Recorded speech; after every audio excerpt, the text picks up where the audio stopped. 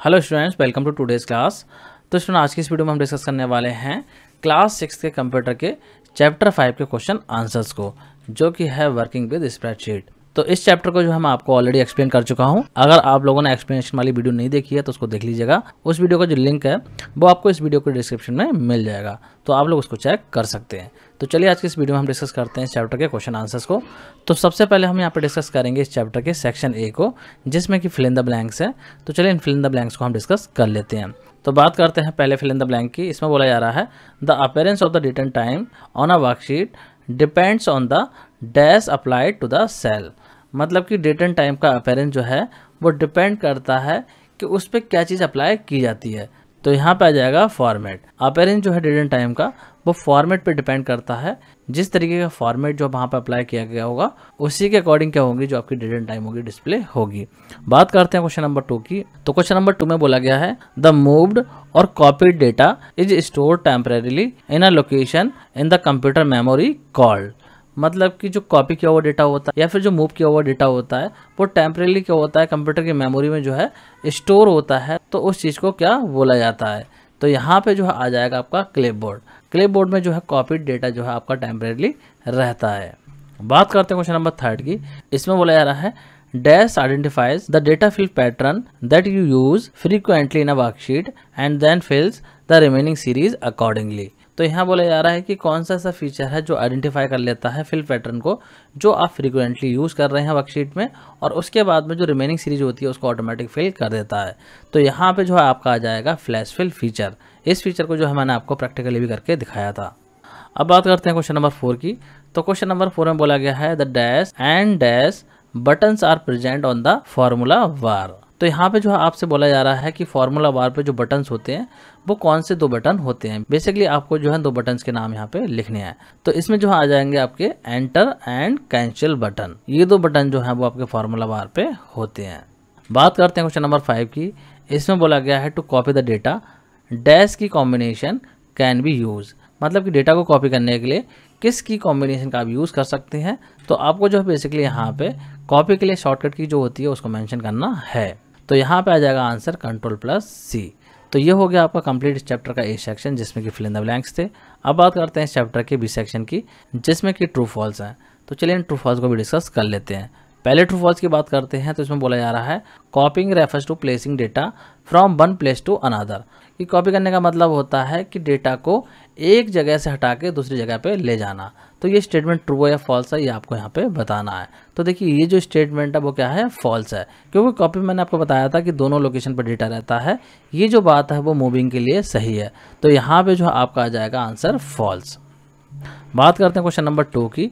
इसमें बोला जा रहा है control A key combination is use to select a row मतलब कि कंट्रोल के साथ में ए प्रेस करेंगे तो आपकी एक रो सेलेक्ट होगी। तो ये स्टेटमेंट ट्रू है फॉल्स है?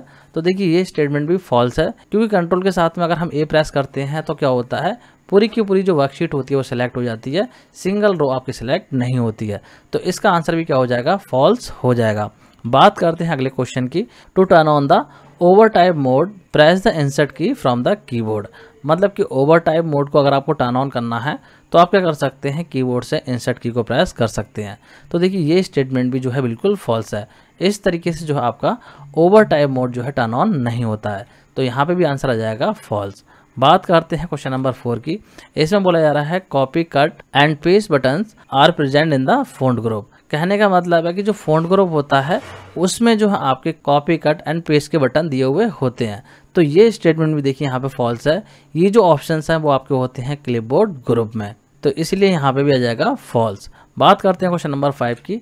इसमें बोला जा रहा है to insert a new column in Excel sheet select the add button on the insert tab तो देखिए ये स्टेटमेंट भी जो है आपका फॉल्स है, क्योंकि यहाँ पे बोला जा रहा है कि अगर आपको जो है अपनी एक्सेल शीट में कोई न्यू कॉलम ऐड करना है तो आप क्या करते हैं? इंसर्ट टैब में जाते हैं और वहाँ पे ऐड वाले बटन पे क्लिक करते हैं।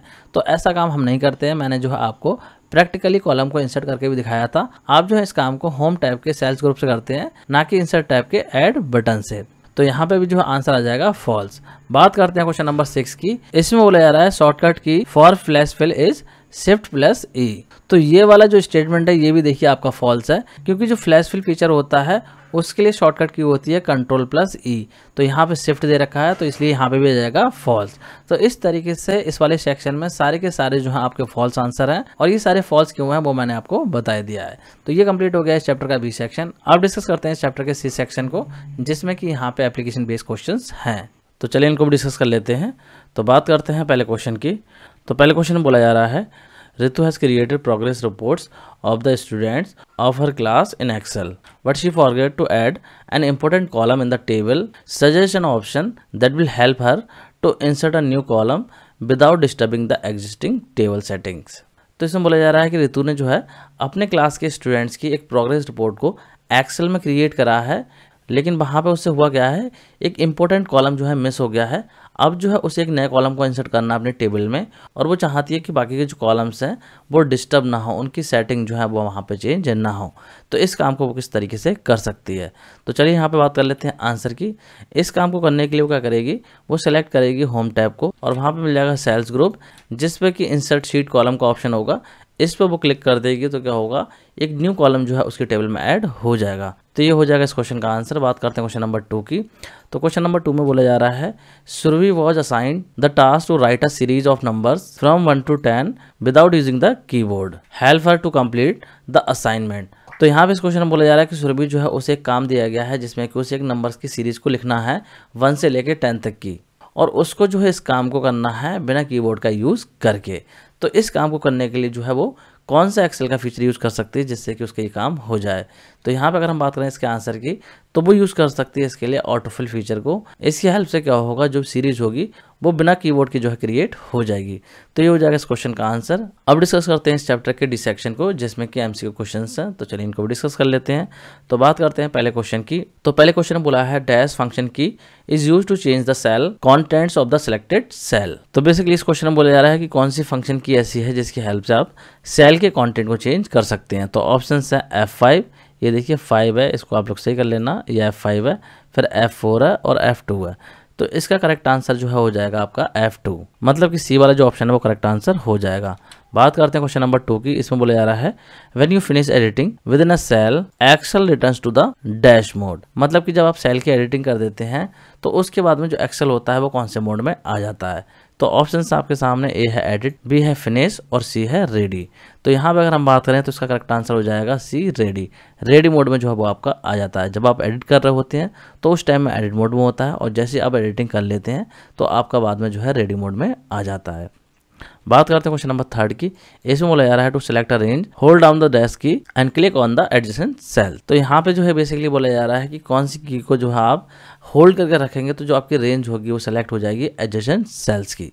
तो यहाँ पर ऑप्शन है ऑप्शन ए है शिफ्ट बी है कंट्रोल और सी है ऑल्ट तो इसका करेक्ट आंसर हो जाएगा ए शिफ्ट बात करते हैं क्वेश्चन नंबर फोर की। तो क्वेश्चन नंबर फोर में बोला जा रहा है dash is the shortcut key to undo the last action basically यहाँ बोला जा रहा है कि अंडो के लिए शॉर्टकट की क्या होती है। तो ऑप्शन है। ऑप्शन ए है कंट्रोल जेड बी है कंट्रोल वाई और सी है कंट्रोल एक्स तो इसका करेक्ट आंसर हो जाएगा ए कंट्रोल जेड बात करते हैं क्वेश्चन नंबर फाइव की। इसमें बोला जा रहा है the dash key combination can be use to apply the outline border around the selected cell मतलब कि कौन सी की कॉम्बिनेशन की हेल्प से आप क्या कर सकते हैं? आउटलाइन बॉर्डर को अप्लाई कर सकते हैं सिलेक्टेड सेल पे। तो ऑप्शन है ऑप्शन ए है control plus shift plus nine option B है control plus shift plus seven और ऑप्शन सी है कंट्रोल प्लस जी तो इसका करेक्ट आंसर हो जाएगा control plus shift plus seven मतलब कि जो बी वाला ऑप्शन है, वो करेक्ट आंसर हो जाएगा। अब बात करते हैं इस चैप्टर के ई e सेक्शन की, जिसमें कि कुछ क्वेश्चंस हैं, जिनके आंसर आपको देने हैं। तो बात करते हैं यहाँ पे पहले क्वेश्चन की। तो पहले क्वेश्चन में बोला जा रहा है how can you edit the data in a worksheet मतलब कि आप किस तरीके से वर्कशीट में डेटा को एडिट कर सकते हैं। तो इसके आंसर की अगर हम बात करें तो यहाँ पर देखिए मैंने आपको बताया था मॉडिफिकेशन के लिए आप क्या करेंगे सेल को सिलेक्ट करेंगे, और फिर जो है आप वहाँ पे क्या करेंगे डबल क्लिक करेंगे। उसके बाद में जो एक्सेल होगा वो एडिट मोड में कन्वर्ट हो जाएगा, और जो भी आप टाइप करना चाहते हैं, वो टाइप वहाँ पे कर सकते हैं। तो क्या होगा, जो भी कॉन्टेंट होगा वो आपका वहाँ पर एडिट हो जाएगा, या फिर आप कर सकते हैं चेंज हो जाएगा। तो ये हो जाएगा इस क्वेश्चन का आंसर बात करते हैं क्वेश्चन नंबर टू की। क्वेश्चन नंबर टू में बोला जा रहा है how will you select a range of non adjacent columns in a worksheet मतलब कि यहाँ बोला जा रहा है कि अगर आपको नॉन एक्जिस्टिंग सेल की रेंज को सिलेक्ट करना है वर्कशीट में तो आप किस तरीके से करेंगे? तो चलिए बात करते हैं इसके आंसर की। तो मैंने आपको बताया था कि अगर आपको नॉन एडजेसेंट सेल्स को सिलेक्ट करना है तो आप क्या करेंगे? कंट्रोल की को होल्ड करके रखेंगे और माउस से जो है क्लिक करते जाएँगे उन सेल्स पे जिनको कि आपको सेलेक्ट करना है। तो इस तरीके से जो है आपके क्या होंगे? नॉन एडजेसेंट सेल जो है सेलेक्ट हो जाएँगे। तो ये हो जाएगा इस क्वेश्चन का आंसर बात करते हैं क्वेश्चन नंबर थर्ड की। तो इसमें बोला जा रहा है what are the four option in the delete dialog box मतलब कि डिलीट डायलॉग बॉक्स जो होता है, उसमें कौन कौन से फोर ऑप्शन होते हैं, वो आपसे यहाँ पे पूछा जा रहा है। तो चलिए बात करते हैं इसका आंसर की भी। तो यहाँ पे अगर हम बात करें फोर ऑप्शंस की तो पहला होता है डिलीट सेल्स दूसरा होता है डिलीट शीट रो तीसरा होता है डिलीट शीट कॉलम और चौथा होता है डिलीट शीट तो इस तरीके से चार ऑप्शंस होते हैं डिलीट डायलॉग बॉक्स में। तो मुझे लग रहा है आप लोग के क्वेश्चन में क्लियर हो गया होगा। बात करते हैं क्वेश्चन नंबर फोर की। इसमें बोला जा रहा है what is the autofill feature how it is useful मतलब कि ऑटोफिल फीचर क्या होता है और ये किस तरीके से यूजफुल होता है? तो इसके आंसर की अगर हम बात करें तो ये रहा आपके सामने आंसर तो यहाँ पे देखिए, मैंने आपको बताया था कि ऑटोफिल फीचर जो है, इसकी हेल्प से आप क्या कर सकते हैं? कंजिक्यूटिव डेटा आइटम्स को जो है ऑटोमेटिकली फिल कर सकते हैं अपनी वर्कशीट में। तो इससे क्या होता है? टाइपिंग में जो टाइम लगता है वो रिड्यूस हो जाता है और आपका जो वर्क होता है वो ज़्यादा इफिशेंटली हो जाता है। तो इस तरीके से हो जाएगा क्वेश्चन नंबर फोर का आंसर बात करते हैं क्वेश्चन नंबर फाइव की। क्वेश्चन नंबर फाइव में बोला जा रहा है how can you change the row height in a worksheet मतलब कि अगर आपको वर्कशीट में रो की हाइट को चेंज करना है तो वो आप किस तरीके से करेंगे? तो इसके आंसर की अगर हम बात करें तो मैंने आपको बताया था रो की हाइट को चेंज करने के लिए आपको करना क्या होगा? होम टैब पे जाना होगा, वहाँ मिलेगा आपको सेल्स ग्रुप और उसमें मिल जाएगा आपको फॉर्मेट बटन देन आपको मिलेगा रो हाइट ऑप्शंस और वहाँ पे जो भी हाइट आप देना चाहते हैं वो एंटर कर देंगे और उसके बाद में क्या करेंगे? ओके कर देंगे। तो रो हाइट जो है वो आपकी चेंज हो जाएगी। तो इस तरीके से हो जाएगा इस क्वेश्चन का आंसर बात करते हैं क्वेश्चन नंबर सिक्स की। क्वेश्चन नंबर सिक्स में बोला जा रहा है what is the use of flash fill feature in Excel Excel में जो फ्लैश फिल फीचर होता है, इसका यूज़ क्या होता है? तो चलिए बात करते हैं इसके आंसर की भी। तो मैंने आपको बताया था कि जो फ्लैश फिल फीचर होता है, ये करता क्या है? आइडेंटिफाई करता है फिल डेटा पैटर्न्स को और उसी के अकॉर्डिंग क्या करता है? जो रिमेनिंग सीरीज़ होती है, उनको कंप्लीट कर देता है। तो इस तरीके से काम होता है फ्लैश फिल फीचर का एक्सेल में। इसको ज़्यादा डिटेल में समझना है तो एक्सप्लेनेशन वाली वीडियो आप लोग देखिएगा। वहाँ पर जो है मैंने आपको इसको प्रैक्टिकली करके समझाया है। तो ये कंप्लीट हो गया इस चैप्टर का ई सेक्शन अब बात कर लेते हैं इस चैप्टर के एफ़ सेक्शन की। तो देखिए एफ़ सेक्शन में जो क्वेश्चन है वो थोड़ा सा केस स्टडी टाइप का है। तो यहाँ पे बोला जा रहा है you have been asked to plan a friend's birthday party मतलब कि आपको बोला गया है आपके फ्रेंड की बर्थडे पार्टी को प्लान करने के लिए और आपसे बोला क्या जा रहा है create a spreadsheet to make the estimate of the expenditure मतलब कि जो भी खर्चा होगा उसका जो है एस्टिमेट आपको तैयार करना है एक्सेल में। तो यहाँ पे देखिए पार्टी का जो एक्सपेंस है वो इस तरीके से मान लीजिए आपने तैयार कर लिया है। तो यहाँ पे बोला जा रहा है स्टेट द फार्मूला यहाँ पे जो है फार्मूला कर लेना आप लोग। फार्मूला हो जाएगा ये एम आ जाएगा यहाँ पे। थोड़ा सा ये जो है, यहाँ पे टाइपिंग में मिस्टेक हो गई है। तो बेसिकली बोला जा रहा है state the formula that would be use in the following cell मतलब कि डी फोर में जो फार्मूला लगेगा और डी नाइन में जो फार्मूला लगेगा, वो आपको यहाँ पे लिखना है। तो बात कर लेते हैं इसके आंसर की। तो यहाँ पे देखिए जो है फॉर्मूला कुछ इस तरीके से लगेगा। डी फोर में तो लग जाएगा आपका ये फॉर्मूला, जिसमें लिखा हुआ है B four into C four क्यों आएगा ये वाला फॉर्मूला? इसलिए आएगा क्योंकि यहाँ पे देखिए, अगर हम बात करें तो इस वाले को जो है इंटू किया जा रहा है इस वाले अमाउंट से। मतलब कि जो बी फोर है इसको जो है इंटू किया जा रहा है सी फोर से। तो जो है फाइनल टोटल निकल के यहाँ पे आ जाएगा। तो ये फॉर्मूला जो है इस तरीके से यहाँ पे लगेगा। और अगर हम बात करें डी नाइन की तो उसमें आ जाएगा आपका फॉर्मूला ये या फिर जो है आप इस तरीके से भी फॉर्मूला लिख सकते हैं। मतलब कि इस वाले सेल में जो है आपका ये फॉर्मूला आएगा। क्यों आएगा? क्योंकि यहाँ तक का जो अमाउंट है, उसका हमें यहाँ पे टोटल करना है, जिससे कि हम फाइनल अमाउंट को कैलकुलेट कर पाए कि टोटल जो एक्सपेंस हुआ है, वो कितना हुआ है। तो इस तरीके से फॉर्मूले हो जाएँगे। अब बात करते हैं क्वेश्चन नंबर टू की। इसमें बोला है write down the address of the cell that contain the total number of guest मतलब कि उस सेल का एड्रेस आपको बताना है जिसमें कि टोटल नंबर ऑफ़ गेस्ट लिखे हुए हैं। तो बेसिकली बात कर रहा है ये इस वाले सेल की। देखिए यहाँ पे लिखा हुआ है टोटल नंबर ऑफ़ गेस्ट तो इस सेल का एड्रेस क्या है? तो इसका देखिए एड्रेस हो जाएगा बी टू मैंने आपको बताया था, देखिए बी के नीचे है और टू के सामने है। तो इसका जो एड्रेस हो जाएगा वो हो जाएगा बी टू तो इस तरीके से आप लिख देंगे बी टू बात करते हैं थर्ड क्वेश्चन की। तो थर्ड क्वेश्चन बोला है write down the cell address that contain the cost of the hall decoration charges मतलब कि हॉल डेकोरेशन के चार्जेस जिस सेल में भी है आपको उस सेल का एड्रेस यहाँ पे लिखना है। तो देखिए, यहाँ पे आ रहा है हॉल डेकोरेशन और इसके जो चार्जेस हैं वो यहाँ पे शो हो रहे हैं। तो ये जो सेल है, इसका एड्रेस क्या होगा? देखिए, जो आ रहा है डी के नीचे और ये आ रहा है फाइव के सामने। तो इसका एड्रेस हो जाएगा डी फाइव यहाँ पे आप लोग लिख देंगे डी फाइव बात करते हैं क्वेश्चन नंबर फोर की, इसमें बोला जा रहा है which mode is displayed on the status bar when you make changes in the cell मतलब कौन सा मोड आपका जो है आ जाता है स्टेटस बार पे जब जो है आप सेल में चेंजेस करते हैं। तो इसका आंसर हो जाएगा यहाँ पे एडिट मोड मैंने आपको बताया था जैसे आप एडिट करना शुरू करते हैं तो वहाँ पर लिख के आने लगता है एडिट मोड तो ये हो जाएगा इसका आंसर और इसी के साथ जो है आपका ये चैप्टर पूरा फिनिश हो गया है। इस चैप्टर के जितने भी क्वेश्चन आंसर थे, वो मैंने आपको कंप्लीट करा दिए हैं। मुझे लग रहा है आप लोग को सारे समझ में आ गए होंगे। अगर आप लोगों का कोई डाउट रहा तो आप लोग कमेंट करके पूछ सकते हैं।